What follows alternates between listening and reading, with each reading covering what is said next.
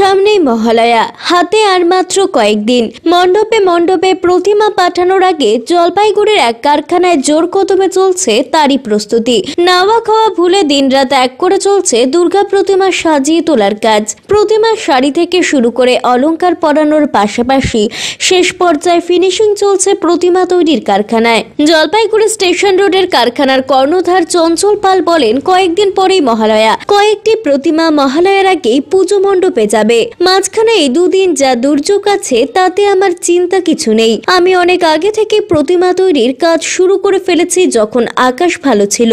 তখনই প্রতিমা শুকোনোর কাজ শেষ করি এবং যুদ্ধকালীন তৎপরতায় রং করার কাজ শেষ হয়। এখন শুধুই প্রতিমার গায়ে শাড়ি, অলংকার পরানোর কাজ চলছে।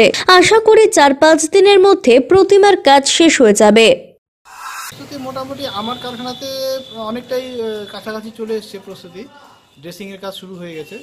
তো আশা করছি পাঁচ সাত দিনের মধ্যেই আমার কাজের প্রোগ্রেস ঠিকঠাক হয়ে যাবে। কিন্তু এই বৃষ্টির কারণে যে সমস্ত কারখানা শুধু নিজেকে নিয়ে ভাবলেই তো হবে না আমাদের সংগঠন আছে সংগঠনে অনেক শিল্পী আছে যাদের এখনও মাটির কাজ ঠিকঠাক ওঠেনি তারা একটু প্রচণ্ড সমস্যার মধ্যে আছে এই ওয়েদারের কারণে। মহালয়ার আগে কি মণ্ডপে যাচ্ছে প্রতিমা? আমার দুটো প্রতিমা মণ্ডপে ঢুকে গেছে মানে রং করা অবস্থায় সেগুলো মণ্ডপে গিয়ে ড্রেসিং করতে হবে। দিলীপ রায়ের প্রতিবেদন সিসিএন তরাইডুয়ার সংবাদ।